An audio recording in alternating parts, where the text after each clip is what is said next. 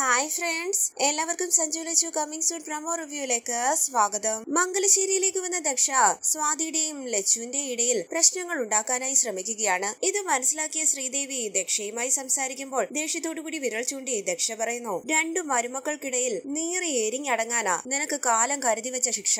ഇത് കേട്ട് കണ്ണു നിറഞ്ഞ വിഷമത്തോടുകൂടി ശ്രീദേവി നിൽക്കുമ്പോൾ ദക്ഷ അവിടെ നിന്ന് പോകുന്നു. പിന്നീട് പ്രമോയിൽ കാണിക്കുന്നത് സഞ്ജുവിന് വേണ്ടി ലച്ചു ലക്ഷ്മി പൂജ ചെയ്യുകയാണ്. ഈ സമയം വാതിലിന്റെ അരികിലേക്ക് വന്ന സ്വാതി വിഷമത്തോടുകൂടി ലച്ചുവിനെ തന്നെ നോക്കി നിൽക്കുന്നു. കൈകൂപ്പി പ്രാർത്ഥിച്ചുകൊണ്ട് ലച്ചു പറയുന്നു ദേവി സഞ്ജുവേട്ടൻ എന്റെ കഴുത്തിൽ കെട്ടിയ താലി എന്റെ മരണം വരെ എന്റെ കഴുത്തിൽ ഉണ്ടാകണേ. ലച്ചുവിന്റെ പ്രാർത്ഥനകൾ കേട്ട് ഞെട്ടി പൊട്ടിക്കരഞ്ഞുകൊണ്ട് റൂമിലേക്ക് ഓടി പോകുകയാണ് സ്വാതി. തുടർന്ന് കരഞ്ഞുകൊണ്ട് സ്വാതി സഞ്ജുവിനോട് പറയുന്നു സഞ്ജു താലി കെട്ടിയ പെണ്ണ് ഞാനാ അല്ലാതെ ലക്ഷ്മിയല്ല സ്വാതിയുടെ വാക്കുകൾ കേട്ട് വിഷമത്തോടുകൂടി നിൽക്കുകയാണ് സഞ്ജു. തുടർന്ന് ലക്ഷ്മി പൂജ ചെയ്യുന്ന ലച്ചുവിന്റെ അരികിലേക്ക് വരികയാണ് സഞ്ജു. ഈ സമയം അവിടേക്ക് വന്ന കാഞ്ചന ലച്ചുവിന്റെ പൂജ മുടക്കാനായി ശ്രമിക്കുന്നു. കാഞ്ചനയെ തള്ളി മാറ്റി കരഞ്ഞുകൊണ്ട് സഞ്ജുവിനെ കെട്ടിപ്പിടിക്കുകയാണ് ലച്ചു. ഈ സമയം വാതിലിന്റെ അരികിലേക്ക് വന്ന സ്വാതി അവരെ ശ്രദ്ധിക്കുന്നു. കാഞ്ചന ഇത് കണ്ട് ഞെട്ടി നിൽക്കുകയാണ്. ലച്ചുവിനെ തള്ളി മാറ്റാനോ ചേർത്തു പിടിക്കാനോ ആകാതെ വിഷമത്തോടുകൂടി നിൽക്കുകയാണ് സഞ്ജു. വരാനിരിക്കുന്ന എപ്പിസോഡ് വിശേഷങ്ങളുമായി വീണ്ടും കാണാം. Thank for watching. Please subscribe. Like Sharmi channel.